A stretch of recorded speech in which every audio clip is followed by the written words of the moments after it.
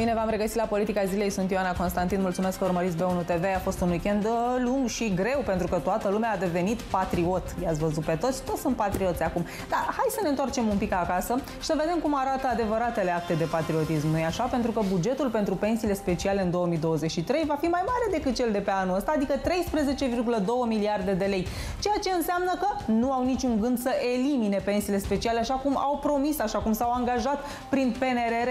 Asta nu-i nimic, avem un fost polițist în Vaslui care din pix punându-și ore suplimentare, a ajuns la o pensie specială de 13.000 de lei. Deci cum e cu pensiile astea speciale? Știți, în cazul domniei sale se numește pensie militară, acelea de care nu vrem să ne atingem deloc. O pensie ilegală în cazul polițistului de la Vaslui. Vorbim și despre criza gravă de medicamente ieftine. De ce medicamente care în mod normal ar costa 13 lei în farmacii nu se găsesc, dar pe piața neagră ajung și la 200 de lei. Se vând substanțe interzise pe piața neagră a medicamentelor, unele dintre ele similare cu drogurile. Și vorbim și despre acest minunat dosar Schengen, pentru că domnul ministru Bode s-a apucat apucat de scris de pește pe Facebook. Domnul Bode, o scrisoare pierdută, s-a apucat de trimis rânduri lacrimogene austriecilor, care austriecii spun, n-ați înțeles ce v-a spus cancelarul. Am spus de la început că nu votăm pentru aderarea României la Schengen. Acestea, dar și multe alte subiecte. Astăzi, la Politica Zilei, vă prezint invitații mei și ai dumneavoastră de la această oră. În platou alături de mine, doamna Monica Tatoi, antreprenor. Mulțumesc mult, doamnă! Bună De asemenea, Elena Calistru, Funky Citizens. Mulțumesc mult, Elena! Bună ziua! Prin legătură telefonică directă, Cristian Seidler, deputatul SR. Mulțumesc mult, Cristian! Bună ziua! Și de asemenea, deputatul PNL, Gheorghe Pecingină. Mulțumesc foarte mult! Bună ziua! În Parlamentul României se dezbate și bugetul României, bugetul de stat pe 2023, un buget SF în care ministrul de finanțe și-a imaginat că vom avea o inflație de numai 8%, domne, la anul, acum având o 16%.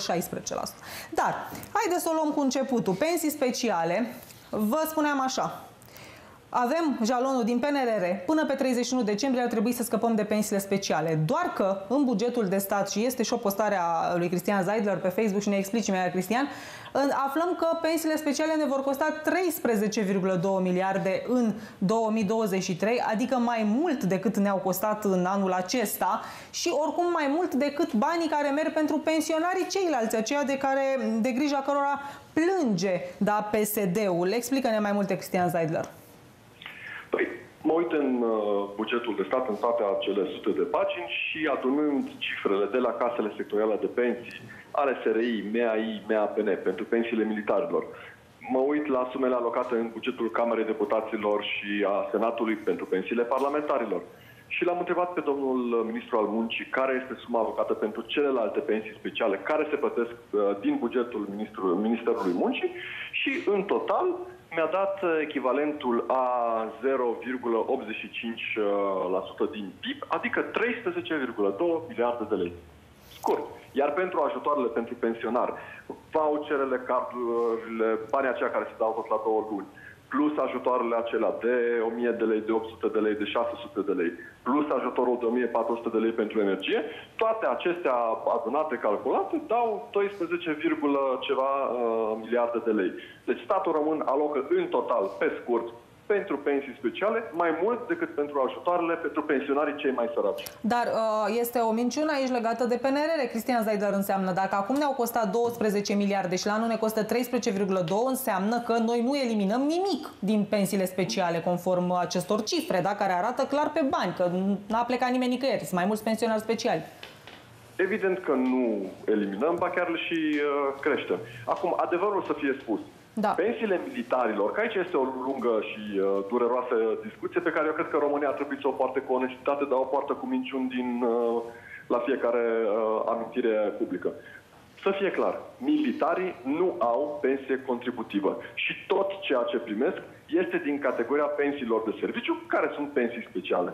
Dar eu nu susțin că ar trebui să fie eliminate de toți și să rămână toți militarii și toți foști polițiști astăzi pensionari fără niciun fel de pensie. Dar pensie precum cea amintită de tine în deschiderea emisiunii de 13.000 de lei, să-mi fie iertat, este o nesimțire, este o sfidare și e posibilă cu legea în mână. Adică omul respectiv nu a primit pensia asta în mod ilegal. Cu legea în mână. Sigur, și-a aranjat niște ore suplimentare, cum da. din păcate își aranjează foarte mulți suspuși la sfârșit de carieră militară. Dacă îmi spun militar, și aici e o altă chestiune, lumea crede că vorbim doar despre armata română. Nu. Nu. Militare înseamnă și asimilații lor, adică jandarmi, polițiști, angajați de servicii secrete, toți merg după aceeași regulă. Da, uh, hai să explic acest caz despre care vorbeam. Un fost colonel din Vaslui, uh, a ajuns și șef la resurse umane acolo, da, a, și-a pus singur ore suplimentare. Dacă ar fi prestat acele ore suplimentare, ar fi stat 24 din 24 la serviciu. Așa a ajuns omul la o pensie de 13.000 de lei, pentru că legea spune că se raportează la ultimele venituri da, pe care le faci și dacă tu ți adaugi aceste ore suplimentare, atunci o să ai un venit mai mare sau dacă îți crești salariul, cum ești cazul magistraților și așa mai departe. E, și acest om a ajuns la o pensie specială de 13.000 de lei, care e pensie militară. Bun, a dat în judecată IPJ-ul, l-a dat în judecată pentru că s-au prins de acest fals cu orele suplimentare și minima logică ți arăta că nu funcționa, n-aveai cum stai 24 în 24. Ce credeți? A câștigat procesul tot cetățeanul și are în continuare această pensie specială 13.000 de lei, doamna Pentru Tatoiu. că magistrații au și pensii nu așa? speciale. Deci, încă o dată, ă, nu poți retroactiv să le tai macaroana. De acord, dar poți să legea. Cine hotărăște că se taie sunt magistrații, da. care magistrați sunt cei mai, sunt la vârful pensiilor speciale în condițiile în care magistrații din România judecă după cum vedem noi. Bun. Singura soluție, nu, nu, pot, nu pot fi desfințate de azi pe mâine. De acord. Trebuie ca cei care chiar vor să schimbe ceva să vină colegi și să spună. Ca la doctorate, dar nici acolo nu se face. Bune, se iau toate pensiile și se calculează veniturile pe ultimii doi ani sau cât, un an și șase luni, nu mai știu cât se calculează, și se compară cu veniturile de acum patru ani. Acolo, cum se face, cum face ANAF, da? Și acolo, că nu toți au făcut. Da, de au acord. făcut șefii. Deci, încă o dată, amărâtul da. ăla de postaj care nu, s-a sunt dus și unii care au pensii de 4.000 de lei da, sau deci, 3.000, n-au toți deci, de mii. trebuie să tai, da. să tai car- cancerul de la vârf. Și atunci, spunem așa, toți cei care vor fi depistați cu diferențe majore pierd tot ca să se retragă înainte. Toți cei care îi prind polițiști cu corupție pierd dreptul la toată pe modelul american. Da? Deci, dacă într-adevăr vrem, nu se poate. Că la magistrați, toți ăia care, pe care inspecția judiciară îi prinde că au călcat pe bec și vorbim de vreo 20%, oamenii care ne privesc și au avut de-a face cu justiția, o să, fie, o să fie de acord cu mine. Da? Deci, îi prins că au călcat pe bec, pierd totul. Da? Sunt în stare guvernanții noștri? Nu, pentru că ei depind de mila magistraților. Deci nu se va schimba nimic. Păi, legea ar trebui schimbată, Elena Calistru, să nu ne mai raportăm la acel ultim an sau ultimii doi ani de venituri, dar unde ei și umflă, iată, singuri, singuri da, ei și dar toți fac așa. Păi, da, da, da, da un, un, om normal, săracul, nu poate să-și umfle veniturile ca să aibă o pensie mai mare și, uh, Elena Calistru, încă o chestiune, cred că ratăm jalonul ăsta din PNRR, nu? Depinde. Dar tu urmărești, ești da, o, și depinde, și pentru că ce cred, că, cred că, deci, ce fel vor justifica acum este da. în felul următor. În buget, în momentul în care îl faci și treci ceva, da. tu nu poți să lucrezi decât pe legea aflată în vigoare. De acord. Deci ei o să folosească acum scuza, e, păi stați, că noi încă n-am modificat legea, mai avem timp până la 31 decembrie. Zic cum ar putea să o spună. Colea. E, exact. E, aici problema este următoarea, că până la ajunge pre, aș vrea să cred că vor ajunge să facă până în 31 decembrie Miramaș, Miramaș, Uh, ce cred că se va întâmpla și de ce bănuiesc este că până la 31 decembrie probabil vor veni cu niște mici modificări nefundamentale uh, pe care le vor lăsa în plata CCR-ului și vor zice Comisiei Europene, păi dar noi am trecut legea, acum n-am trecut noi legea și, și dacă CCR-ul decide că e neconstituțional, noi n-am avut ce face. Noi cum am făcut-o Dar le-am trecut în buget. Da. Deci da. aici este un fel de hai să ne facem că facem treaba dacă este să o luăm așa, pentru că, în fapt, dacă vrei să ai un buget bine așezat, pentru că pensiile reprezintă 8, ceva la sută din, uh, din PIB. Uh, haideți să ne gândim înainte de a intra cu bugetul în Parlament, care sunt in, principalele modificări majore pe care avem de gând să le, să le facem. De asemenea, dacă ne uităm la uh, strategia care, și la raportul privind situația macroeconomică ce însoțește acest buget, nu vedem niciun fel de reformă planificată pe zona asta, astfel încât să, să zicem, băi, uite, e doar temporar bugetat acolo că nu aveam încotro. Așadar, până la ajunge la modele ceva mai sofisticate de a rezolva problema asta, mie mi se pare că nu vom face nici măcar minimul necesar în acest moment, și anume măcar ca pentru cei care intră de acum înainte într-o astfel de situație să zicem, măi, uite, de acum uh, acești oameni vor fi și ei uh, beneficiari de pensii bazate pe principiul contributivității ca noi toți ceilalți muritori și de rău. să mai iasă la 40 e, Și semnalul, uh, să mă iertați că o spun, da. ar trebui dat de la vârf, da. Pentru că și domnul Ciucă, domnul premier, care a Are propus specială. acest uh, buget, este el însuși Are în și plagi, suspiciune de plagiat și pensie. E un politician serios, domnul Ciucă. Domnule, pe 5 în mod special, v-am lăsat intenționa, v-am lăsat la final ca să puteți cuprinde toate opiniile, însă e important pentru noi să știm două chestiuni ce faceți cu jalonul din PNRR care spunea că trebuie să eliminăm pensiile speciale, sigur, nu până la 31 decembrie, dar să venim cu o legislație care să facă posibil acest lucru și ce faceți pentru a remedia cazuri de tipul celui de la Vaslui, adică un fost polițist, domne, care trebuia să ocupe de respectarea legii și a umflat artificial veniturile, da, ca să ajungă la o pensie specială de 13.000 de lei. Și uite, așa plătim noi 13 Pe care a câștigat-o în instanță. Pe care a și câștigat-o în instanță. Domnule, pe 5 vă rog. Era și greu, nu era greu să câștige în instanță pentru că a respectat legislația în vigoare legislație foarte proastă. Și asta era rolul ministrului de ministrului muncii să vină pe trimestrul 4 cu o reformă în acest domeniu. Uh, da, și eu sunt siderat, dar încă o dată, uh, acel polițist beneficiază de o lege proastă care îi permite să facă acest lucru și nu este singurul. Și, în cazul judecătorilor există de, delegări în anumite poziții care permit uh, în ultima perioadă sau în ultimul an să aibă un salariu mult mai bun sau venituri mult mai mari și apar acele pensii uriașe și în acel sistem. Deci sistemul este foarte prost construit, legislația este proastă. Aveam și alun în PNRR, până la pe trimestrul 4, ministrul Budei trebuia să vină cu uh, uh, o reformă în ceea ce privește pensiile speciale. Și a venit? Din câte știu eu, nu. Sunt acum la Comisia de Buget Finanțe și analizăm bugetul, dar nu am văzut până în acest moment, eu nu am văzut o reformă sau o dezbatere publică Uh, serioasă pe un document aplicat de la Ministerul Muncii. Nu vă supărați pe mine. Eu sunt Monica Tato. Eu vă întreb așa. Cine decide, cine face lege în România? Guvernul? Guvernul face ordonanțe. Parlamentul face legi. Parlamentul e format 70% din putere. De ce să aștept să facă domnul Budăi când avem 500 de parlamentari plătiți din taxele și impozitele noastre ca să facă legi. Nu să vină da, guvernul să le spună ridică mâna la ce zice Budăi. Nu, aveți perfectă dreptate, dar toate datele și uh, statisticile și tot ce înseamnă uh, sume, uh, persoane sunt, se află la Ministerul la Ministerul Muncii. Nu poți să fii ca și parlamentar, nu ai toate datele necesare. Sigur, ca principiu putem să discutăm și în Parlament. Parlamentul face legi. Parlamentari au comisii, au consilieri, au experți. De ce nu faceți legi? Doamne, tatăl. Bun, haideți. Și după cum știți, procedura este destul de clară. Se, se colaborează cu Ministerul și Ministerul are sarcină prin PNRD și a asumat că va va veni cu un proiect privind reforma pensiilor speciale. Așteptăm datele și indiciile Ministerului. Da, dar întrebarea doamnei Tatoiuș și a noastră tuturor e decât să-l așteptăm pe domnul Budăi. Nu mai, mai bine ne apucăm să eliminăm noi din ele așa pe mai Parlament? că PNL-ul uh, da. acum câțiva ani a depus amendament la legea bugetului de stat când se afla în Parlament da. pentru a mări alocațiile copiilor. E, uite, se poate orice. Exact. Mă se poate de... orice, nu? Aproape orice, dar aici e vorba de tăieri, de ce Bine, vă ascultăm, domnule Pecingine.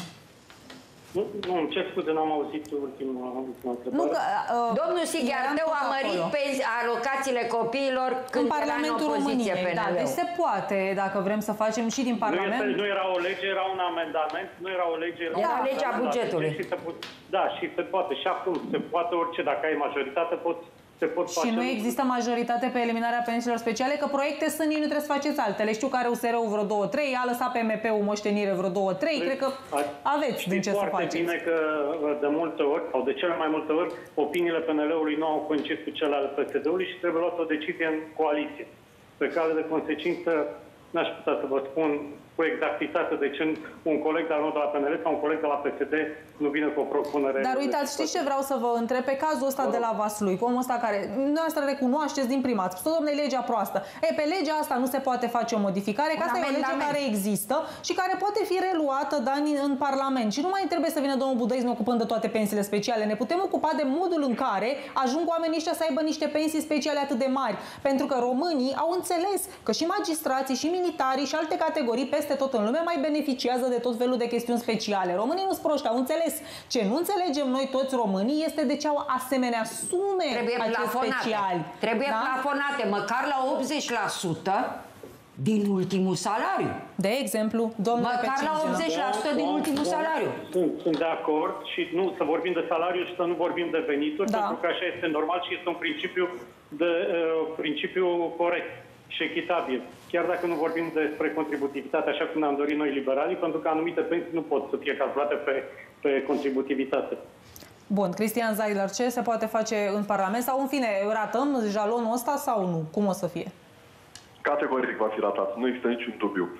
Um, se induce în spațiul public de câțiva ani deja ideea cum că de pensii speciale, domnule, nu pot să scap. Deci e o fatalitate, trebuie să acceptăm, precum în Miorița, precum în capul ce se pleacă, sabia nu taie.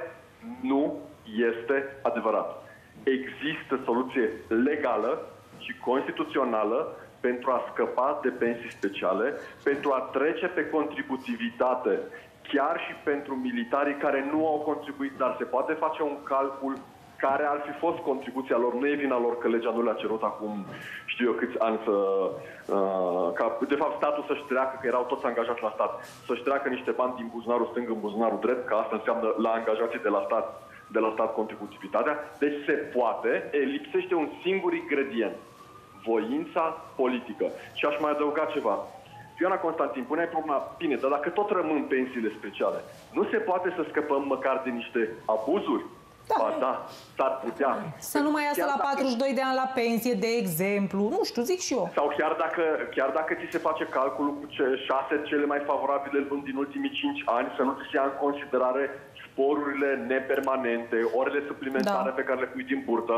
Pentru că, doamna Tată, știți ce se întâmplă? Legislația în momentul de față, la militar, prevede foarte clar că nu poți să ai pensia mai mare decât venitul net. Vă dați seama ce venit net avea acest polițist dacă pensia lui este de 310.000 de lei și nu e un salariu obișnuit de polițist. Și l-a umflat cu ore suplimentare, pentru că el centra, el dădea cu capul, Corect. fiind șeful la resurse umane. Da, Elena Calistru, o concluzie, dacă mai putem păi, ajunge la Concluzia este că uh, pe lângă faptul că nu facem ceea ce ar trebui să fie făcut pe zona aceasta și corect pentru societate, pentru că dincolo de sume, aici este vorba de principii. Chiar este vorba despre principii și este despre a, despre a le arăta cetățenilor că suntem toți egali în fața legii. Despre asta este vorba. Lângă asta, iată că punem uh, sub semnul întrebării și PNRR-ul, care de bine de rău ne ținea pe un anumit făgaș, pe niște reforme pe care statul nostru, prin uh, guvernanțele la acea vreme și l-a asumat și pe care...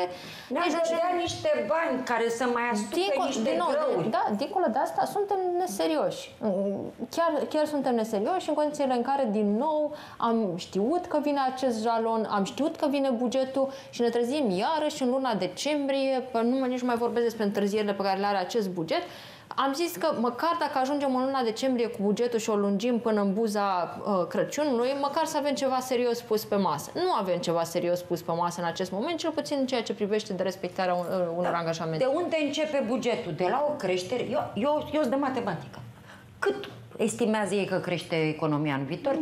Da, 12. Până în 3%.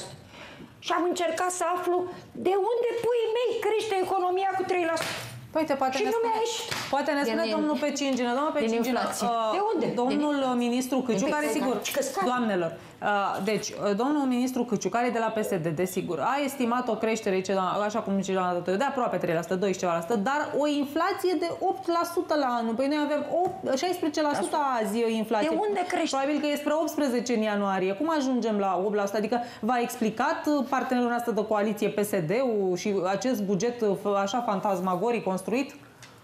Doamne, să fiu sincer și nu vreau să, să bravez. Și eu mi-am pus acea semnă de da. întrebare uitându-mă și la deficit. Și la sumele de anul trecut pe deficit și sumele de anul acesta la deficit. Și este clar, așa cum bine ați punctat, uh, inflația estimată de 8% nu cred că este una realistă. În da. schimb, l-am întrebat colegii, l-au întrebat în comisie astăzi dacă vor mai crește taxe și impozite. A spus din nou că nu se va întâmpla acest lucru. Sper că de data asta să fie de Bun. O să sunt, vedem. Da, sunt și primarii nu care cer... să văd, că la matematică nu e cu văzut. Dați că mai avem de adăugat la bugetul ăsta, că se alătură prin legătură telefonică directă Emil Drăghici, președintele Asociației Comunelor din România, primar. Bun găsit, domnule Drăghici. Înțelegem că solicitați uh, coaliției guvernului, da, să se țină de cuvânt să majoreze salariile primarilor. Nu, haideți să vedem, să, să, să, să înțelegem lucrurile profunzime. Noi nu vorbim de o majorare. Când vorbești de majorare, înseamnă o creștere. Dar... Noi cerem măcar să se acopere rata inflației și mai ales faptul că din 2019 încoa suntem trași pe dreapta. Păi Așa nu v-au dat o creștere de 10%? Poftiți? Nu v-au dat o creștere de 10%? Creșterea de 10% acoperă rata inflației 2019 Dar... până la 2023. Da, dar 12% acoperă rata inflației la pensii, domnule Drăghici. Nu, dar haideți să vedem ca tot această batjocură, că este batjocură... Păi, dar nu e și la, cetă- dacă... la adresa cetățenilor? Nu, nu, stați un pic, stați să le separă lucrurile. Această batjocură la adresa indemnizațiilor primarilor, viceprimarilor, dar și a întregului personal care nu se poate sălta de viceprimar, înseamnă un atac și atunci când oamenii ăștia vor ieși la pensie. Păi de ce nu se schimbă legea? Cereți-le să vă schimbe legea, se poate face modificări care să nu țină de, uh, de banii pe care ia viceprimarul. Doamne primar, cu tot respectul, dar toată România e într-o situație economică gravă. Acum pe noastră nu v-a pus nimeni să deveniți primari, cum nu i-a pus nici pe parlamentari. Nu, e, e, este, este o părere pe care sigur când veți replia nu veți fi de acord. De ca și cum a spune când ai avut acces la o funcție, trebuie să stai cu ea așa până la locomanda. Nu! Că nu ți-a cerut nimeni să fii. Domnule primar, nu, nu va forța nimeni să fiți primar. Domnul Drăghici, în managementul privat ai niște obiective și te plătește da. bine. Dacă îți da. atingi obiectivele și nu te plătește sau îți taie sau te penalizează, dacă nu ți-ai îndeplinit obiectivele.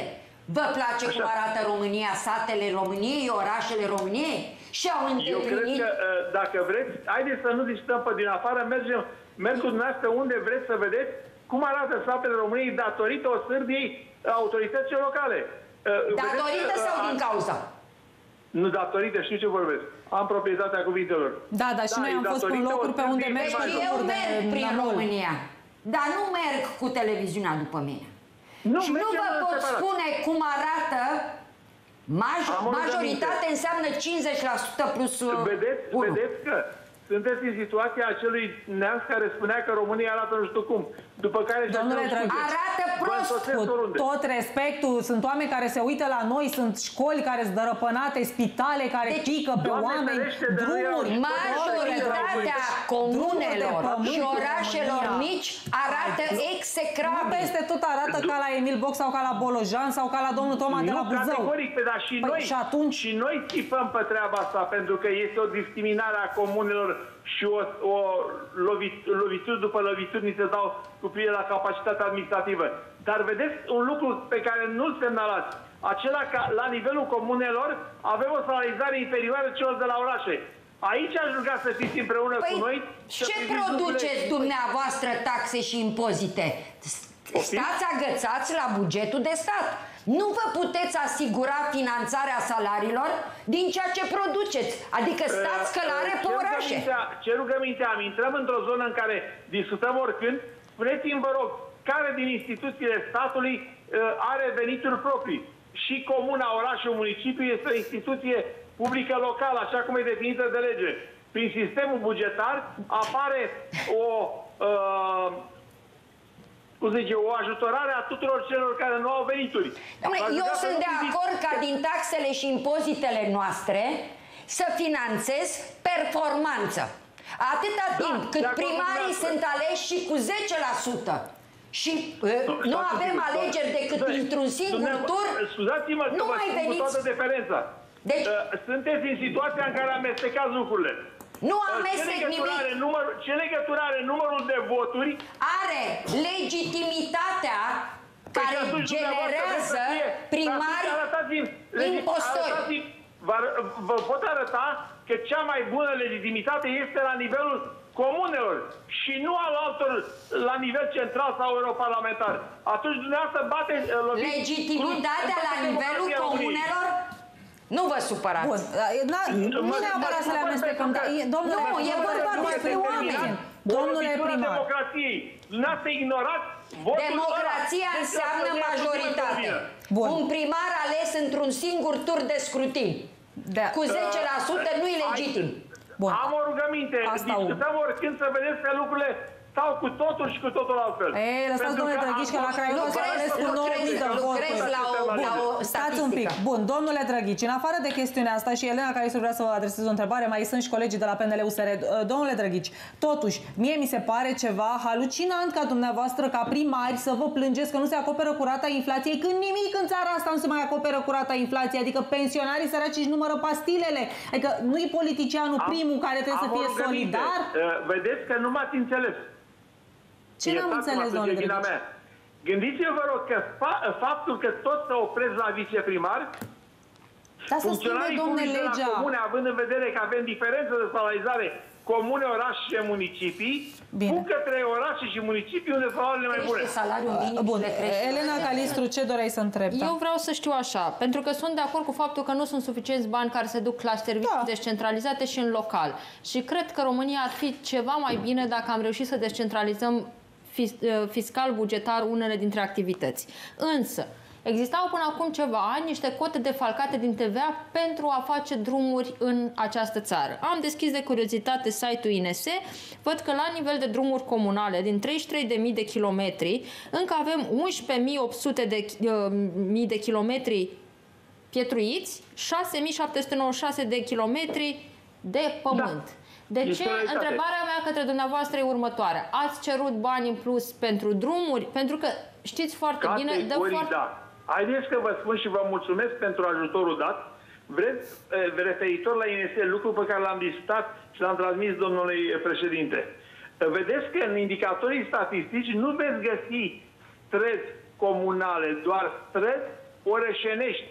Și atunci este bine să faci o analiză pe ansamblu. Mă uit la... PNDL 1, PNDL 2, uh, Angel Saligny, sunt proiecte, dar și uh, alte finanțări, tocmai pentru drumuri, dar lungimea drumurilor uh, impracticabile la, nivel, uh, la nivelul comunului este foarte, foarte mare. Și aici primarii fac eforturi foarte mari să acopere câte un kilometru, 2-3 de oameni Bine. care stau Domnule Pecingină de la PNL, domnul Drăghiș cere salarii mai mari pentru primari și nu doar domnia sa, toți primarii cer, înțeleg, o scrisoare deschisă. Domnule da. Pecingină, sunteți? Doamna, n-am, n-am, da, și nu am cum să nu fiu parțial de acord, cred că doamna Tatoi a spus. Să ne uităm și la mediul privat, să ne uităm și la ceilalți, pentru că avem o dispută în zilele acestea și nu mai în zilele acestea, că salariul la stat, salariile la stat sunt mult mai mari și o concurență neloială față de mediul privat. 1. 2. Ar trebui o reformă administrativă, pentru că doamna a avut dreptate și eu vă pot da exemple cu primar ales cu 400 de voturi. Da. Adică mi se pare totuși că sunt comune cu sub 1000 de locuitori și e un efort bugetar, trebuie să acoperim inclusiv salariile și cheltuielile de funcționare ale comunelor respective din bugetul de stat. Pentru că nu, sunt, da. nu au posibilitatea... Pot să intervin? Îmi permite să intervin? Sunteți colegi de coaliție. un, îl, îl cunosc pe domnul Pecinge și v-aș ruga să înțelegeți un lucru, că reforma statului începe de la, de la punerea în aplicare a referendumului, pe care îl ignoră Parlamentul în, în detrimentul voinței populare. Da, 300 de parlamentari și primarii în două tururi. Noi cetățenii suntem pentru. Da. Două deci, tururi și 300 de parlamentari. Și fără pensii speciale. Hai, și 25% reducere cheltuielii cu Da, Cristian Zaidar, USR-ul ce zice? Să nu mai avem comune sub 5.000 uh, de locuitori sau chiar să da. mergem până la 3.000 dacă totuși se dorește, dar trebuie de ce nu faceți reformă cerută de referendum? Sigur că da, și Aia de ce nu spuneți nimic de ea? Pentru că da, ignorați da, democrația. Uite, nu, uite da, cum bagă Suzanie în coaliție. Ce serios să fim? Că ignorați democrația, ignorați referendumul, Nu poate să existe în România secolul 21 comună cu 1000 de locuitori. Haideți să fim Nu, avem și comună cu 500 de locuitori. Păi să, și statul să susțină în continuare. Aici trebuie să ne gândim. Corect. Și foarte bine nu, nu, trebuie să ne gândim într-o ordine logică. Avem referendum unde e exprimată voința populară și Parlamentul ignoră. Vorbiți cu colegii dumneavoastră de partid. Eu sunt unul dintre susținătorii acestei idei. Uh, Cristian Zeidler. 1. Are dreptate domnul Drăghici atunci când spune că salariile angajaților din primării și consilii județene sunt plafonate la venitul viceprimarului sau vicepreședintelui de Consiliul Județene. Doar că n-am auzit de la niciun primar, președinte de Consiliul Județean sau organizația acestora să spună Soluția nu este să ne creșteți neapărat nouă veniturile. Soluția este ca prin lege să decuplați aceste salarii de veniturile viceprimarului sau primarului. Domnul pe de altă Faiză, parte, pe de altă noi parte, că nu v-am întrerupt. Noi am făcut-o. Nu, nu, dacă îmi permiteți, că eu nu v-am întrerupt și după aceea reacționați dacă e caz. Corect. Mai apoi, are dreptate domnul Pecingină atunci când spune că sunt în România comune care sunt uh, mai uh, mici decât un quartal de blocuri dintr-un oraș. N-am auzit nici în această situație să vină primarii să spună adevărul este că aproximativ tot al doilea dintre noi ar trebui să se întoarcă de unde venea din sectorul privat eventual și să lăsăm niște primării funcționale. Pentru că, și asta este punctul central ce urmează să vă spun acum, atâta timp cât o primărie nu este în stare din taxele și impozitele colectate local să susțină minimul de personal și să uh, țină becul deschis, acea primărie nu își justifică existența. Corect. Trebuie unite, uneori chiar și cinci comune, ca să Bun. faci una singură. Corect. Ca să Scurtă replică, eficientă. domnule Drăghici. nu, mă lasă mut cu asemenea abordare, domnul Seidler. Întreb eu, Parlamentul României are venituri proprii? Uh, am o rugăminte, da. intrăm în niște zone, oh, ne place să spunem Parlamentul României nu colectează taxe și impozite locale, în timp ce primăria colectează. Păi da, și de, și de ce să iau o serie întreagă de impozite care ar trebui să rămână la local, sărăcind uh, bugetele locale? Haideți că intrăm pe o chestiune de filozofie a organizării bugetare unde vă promit că nu, nu, nu pot fi bătut. Dar nici nu, scopul nu este să uh, bateți dumneavoastră sau să bat eu. Scopul este să avem niște instituții funcționale nu, în România scop, și, să avem, este și să avem niște să oameni plătiți Să nu corect. maltratați dumneavoastră România cum ați mai făcut-o? Trebuie reduse cheltuielile în așa fel încât să nu trebuiască să mărim impozite și să chinuim românii. Eu acasă, când n-am bani, mă gândesc ce tai.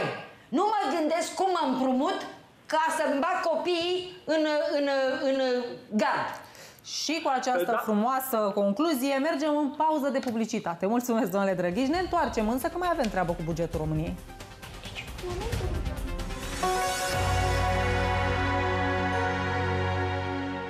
Ne-am întors la dezbatere și ne uităm un pic și ce se întâmplă în Ucraina cu războiul dintre dus de Federația Rusă în Ucraina. Discutăm cu domnul general Virgil Bălăceanu. Bun găsit, domnule general!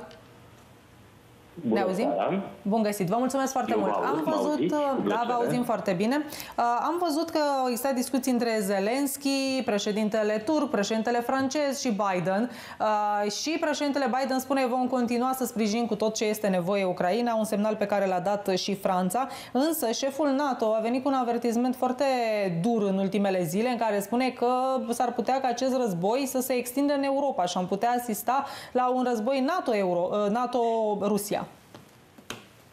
Da, am citit și eu. Probabil sunt niște preocupări legate de un anumit set de informații pe care l-ar avea, în mod sigur, secretarul general. El face și o trimitere către susținerea cu armament da. a Ucrainei și mai ales către instruirea în țările Uniunii Europene a celor 14.000 de militari ucrainieni. Probabil uh, este preventiv în sensul în care rușii să nu se gândească, până acum n-au lovit, nu cred că vor lovi uh, fluxurile de aprovizionare cu armament și muniție armatei ucrainiene, dar probabil undeva în planurile lor ar exista, este o probabilitate, repet, da. eventuale lovituri în bazele militare unde se face pregătirea militarilor ucrainieni, ceea ce ar însemna, fără doar și poate, o escaladare a conflictului. În general, însă, Federația Rusă, criticând poziția Occidentului, din perspectiva lor, Occidentul este de vină că acest război continuă. În definitiv, furnizarea de armament și muniții înseamnă întărirea, consolidarea capacității de apărare a Ucrainei și, într-o anumită măsură, într-o anumită măsură numai a capacității de desfășurare a operațiilor contraofensive. Însă indicii ne spun că totuși Federația Rusă se va concentra pe războiul din Ucraina cu ambele sale componente, războiul clasic și războiul energetic, iar ca arie geografică rămâne concentrată Federația Rusă, Armata Federației Ruse pe sud-estul Ucrainei, în mod deosebit pe zona Donbasului. Da, am văzut că e Odessa în beznă 1,5 milioane de ucrainieni și a mai venit o informație interesantă, o cazarmă rusească incendiată, aruncată în aer în Crimea. Uh, aici probabil că se vor uh, escalada conflictele în Crimea. Da, Crimea este o zonă extrem de sensibilă. Ucrainienii continuă să lovească infrastructura militară, dar sunt lovituri chirurgicale, nu sunt lovituri masive. Pe de altă parte, Odessa, Nicolaivul, uh, lovite în, uh, în cursul zilei de ieri, fac parte din schema de lovire a rușilor uh, legată de război energetic.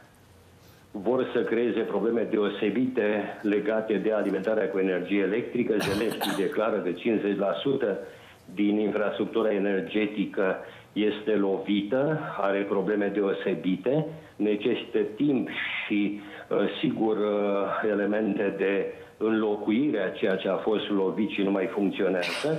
În același timp, însă, loviturile vizează nu numai rețeaua energetică, vizează și alimentarea cu apă, alimentarea cu căldură și, sigur, furnizarea luminii.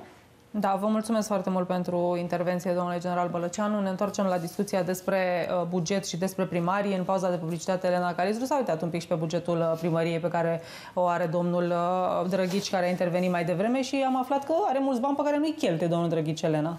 Da, și o problemă în general la autoritățile locale, nu numai la nivel de comune, există multe dintre ele care, au, care sunt pe excedent bugetar și din punctul meu de vedere ar trebui să fie sprijinite mai ales pentru a face investiții și pentru a, a derula proiecte pe fonduri europene, pentru, a, pentru a-și crește un pic capacitatea. Dar asta nu o poți face atunci când comuna ta are 1000 de locuitori. Pentru a ajunge acolo trebuie să ai măcar o comună de nu știu, 5.000 de oameni acolo. Ca, Sau să se unească mai multe comune exact, să acceseze fonduri europene. Da, pentru că în acest moment, în fapt, noi nu facem decât să răstogolim pe cheltuieli de funcționare, într-adevăr, o sărăcie și o, uh, un buget de subzistență pentru multe dintre comunele țării care nu finanțează decât Bugetul mare de stat, cum ți s-a părut? Te-ai uitat, ai văzut? Uh... Am văzut că au crescut destul de mult cheltuielile pentru armată, ceea ce era cumva firesc în perioada aceasta. Scandalul de la educație este unul cât se poate de legitim, e da. o sumă indecent de mică uh, și de asemenea, din punctul meu de vedere, cred că pe partea de fonduri europene atrase și de PNRR, cred că suntem mai mult decât optimiști, mult prea optimiști. Uh, din păcate. Cel puțin 50% nu să vină. Să vedem. Să vedem ce se va întâmpla. Anul ăsta s-ar putea să fie bine pentru că ne intră niște prefinanțări, însă teamă mie că nu reușim să ducem uh, tot cât ne-am propus, pentru că, din nou, în momentul în care ai un buget pe care doar faci uh, așa mici modificări și nu ai o strategie, e greu să produci mai mult decât cârpeală. Da, Cristian Zaidler, ați depus 500 de amendamente, am văzut niște mici de la uh, aur, în fine. Uh, vă rog, care este analiza USR-ului pe, aceste, pe acest buget? E bazat pe inflație și pe creștere de taxe și impozite, iar la cheltuiel, cu toate că are un uh, deficit de 4,4% dintr-un PIB mult mai mare decât cel al anului 2022, cheltuielile sunt subbugetate chiar și așa. La pensii, de exemplu, au pus să cheltuie, chiar cu valoarea asta a punctului de pensie, cu 4,5 miliarde de lei mai puțin decât iese matematic la înmulțire înmulțești numărul de puncte de pensie pe care trebuie să le plătească România, pensionarilor, pensii contributive, nu vorbesc de cele Da, speciale, da, da, da. cu valoarea punctului de pensie și ți iese o sumă și vezi, te uiți în buget și au pus cu 4,5 miliarde de lei mai, mai puțin. Deci e o bătaie de joc, la fel cum e și procedura de altfel. Astăzi aproape toate amendamentele, o să spun 99% dintre amendamente, au trecut de comisiile de aviz și vor fi trântite toate la Comisia de Buget, Finanțe și în, uh, în plen. Adică nu e niciun fel de dezbatere, e doar o jucărie de bătut joc, efectiv, că asta a rămas. Vă gândiți că poate domnul, domnii de la guvernare s-au gândit că după frigul și foametea din iarna asta o să moară mulți din cei care au contribuit la fondul de pensii? Cred că s-au mai gândit și în pandemie, la fel. Ca exact. să... Deci eu, eu fără, fără deci, în momentul în care tu diminuezi, înseamnă că ești că o să moară mulți.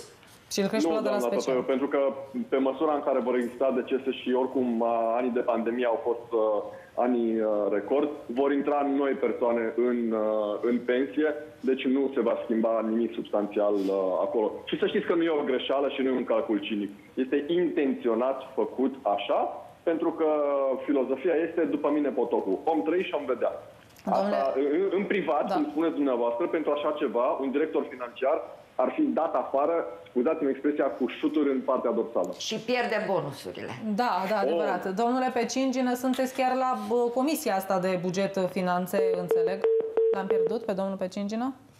Refacem legătura. Are de dus multe dezbateri. Am văzut că ultimele L-am pierdut domnul Zaidler, dar domnul Pecingină ne mai aude? Sunt, da, da. Perfect. Domnule Pecingină, știu că sunteți la comisia aceasta de uh, buget uh, finanțe. Buget, finanțe da. da, și spunea chiar colegul nostru de la USR că acolo se trântesc practic toate amendamentele. Explicați-ne totuși cu bugetul ăsta, că îl vedem SF, no, adică... Deci, deci uh, să știți că personal am votat anumite amendamente ale colegilor, cele pe învățământ, ale colegilor de la USR, da. și altele au fost și amendamente cu privire la amânarea punerii în, în practică, de exemplu, a impozitării uh, sau supraimpozitării contractelor part-time. Da. Este o propunere al Florin Câțu pe care am votat-o. Din nefericire nu au trecut, da. Sunt lucruri, dar nu este, un, nu este uh, o chestiune asumată de întregi, uh, nu știu, de întreg PNL-ul sau întreg PSD-ul. Sunt uh, dezbateri, fiecare votează cum crede, cuvință și cum are filozofia de viață și principiile care l-au adus într-o anumită formațiune sau în alta. Da. Bun, dar uh, totuși, domnul Căciu, ar trebui să vă fie explicat măcar dumneavoastră pe ce s-a bazat cu inflația asta de 8% și cum am ajuns... Iarăși, am văzut o chestiune că ați vorbit de educație mai devreme. Noi, e cel mai mic buget la nivel istoric în România la educație, 2,1%. Eu știu că domnul Căciu și doamna Deca împreună ne explică, domne, că dacă adunăm și de pe la, de, și din debara, mai găsim și facem 3,2, dar 2,1 este central dat pentru educație. Cum e posibil? Doamnă, așa au fost de-a lungul timpului și nu o să spun doar Nu e adevărat, e cel mai mic din ultimii, acum 10 ani era, da, cel mai mic procentual. Se raportează la, uh, eu vreau să spun altceva, că educația tot timpul uh, și, uh, a fost, mă rog, n-a fost primul dintre priorități și atunci se vede ceea ce avem, inclusiv clasa politică, este rezultatul faptului că de-a lungul timpului a fost neglijată educația dacă vreți, până la urmă și asta uh, denotă ceea ce se întâmplă acum. Faptul că este cel mai mic buget am primit și o explicație de genul execuția bugetară ne arată că de fapt atâta trebuie. Sunt lucruri pe care n-aș putea și fiind în coaliția de guvernare, da. nu vreau să intru în amănunte. Înțeleg. Dar legat de part-time, dumneavoastră ați votat uh, pentru, da, eliminare. Doamna Turcan mi-a spus aici de asemenea, Florin Câțu și știu că mai sunt. Da, da, PNL-ul, că ar trebui să fie un partid liberal de dreapta. Ar trebui în întregime să apere această măsură, adică mm. să nu mai avem impozitarea aceasta part-time. A fost unul, una dintre lozințele noastre de campanie. Păi. Am reușit să-l scoatem odată. Așa. Din nefericire, în această alianță nu reușim să ne impunem punctul de vedere. Nu reușiți nici în partid, pare o parte din asta. Sincer, acum, doamna Turcan, exact, dumneavoastră, da. Câțu, Dar ministrul mai educației da, este, li, este doamna liberal. Da, de... Că aparține de Cotroceni, e una. E filiala da. Cotroceni. E filiala Cotroceni, bun. Dar această, această duplicitate în mesaje mă sperie. Deci PNL-ul a, a avut un șef, pe domnul Iohannis. Puțin, da? PNL-ul l-a urcat pe Iohannis, care ne-a dat-o pe Deca, care nu... Ați auzit-o să, Ei, să comenteze? Nimic. În condițiile în care nu există bani să-i ducă pe copiii ăia la școală. Da, doamna Tatu, i auzit? Da, din nu, da, este, este, este urcat în acel scaun de PNL. Și în condițiile în care după pandemie este jale în, în educație. Da, da bineînțeles. Este, este jale. Și asta se vede. Eu mă uitam pe calendarul dezbaterilor 35 de minute uh, pentru alocate educație. pentru dezbaterea uh, bugetului educației. E jenant, adică măcar să păstrăm niște aparențe, că știți, uneori faptul că te porți frumos la da, masă da, da, da, înseamnă da. un soi de respect pentru, pentru asta. Eu Câți nu știu din cei care au negociat au probleme cu doctoratul? Dincolo de doctorat. Păi nu, că asta spune. Că e vorba despre, măcar preuniversitarul, da, să ofere o șansă cât de cât uh, decentă la dezvoltare și la educație copiilor din țara asta. Da, Cristian Zaidler, voi aveți o explicație la USR cu educația, ce s-a întâmplat de s-a ajuns la bugetul ăsta atât de mic? V-au dat explicații prin comisii, nu știu? Nu se dau niciun fel de explicații decât cele pe care le-au zis și în spațiul uh, public. În, în ceea ce privește bugetul educației, noi avem câteva amendamente mari și late. Unul este referitor la salarizarea celor care intră în profesia de învățător sau profesor. Da. Am auzit mai înainte cum se cereau creșteri salariale la primari. Eu cred că nu poți să faci o educație de calitate cu oameni prost plătiți. Corect. Pentru că dacă ai impresia că cu 2000 de lei poți să existi ca și profesor, ca învățător, care mai trebuie să cumpere o carte, să mai citească, să transmită mai departe niște valori, e, e o iluzie, efectiv. Iar un alt uh, amendament uh, privește masa caldă în școală, pentru că realmente copiii n-au nicio vină pentru situația materială a părinților lor și au același drept la educație toți. Da, domnule Pecingină, o ultimă întrebare. Deci vin, uh, bugetul vine în comisie azi și mâine, va urma să fie votat probabil uh, joi, nu înțelegem? Miercuri. Sau miercuri? Miercuri. Miercuri. miercuri. miercuri. Miercuri va fi votat, am înțeles. Bun, uh, întrebarea este în ce măsură credeți că se mai pot corecta chestiuni care țin de educație, de sănătate, aberațiile astea, cu 8% inflație și toate cele? Mm, nu știu dacă sunt aberații. Apropo de bugetul de la, de la educație, nu a ajuns încă în comisie. Așteptăm în ah. perioada următoare să ajungem în perioada imediat următoare. Da. O să purtăm discuții și o să cerem explicații. Mm, se pot corecta, dacă vreți, la nivel teoretic, se pot corecta foarte multe lucruri, inclusiv în plan. Acum depinde de voi, trebuie să existe voință politică. Da, și majoritate. Bine, mulțumesc uh, foarte mult, uh, domnule Pecingino, domnule Zaidler, Elena Calistu, doamna Tatoi rămâne și a doua oră. Vă mulțumesc, uh, de la fix ne revedem.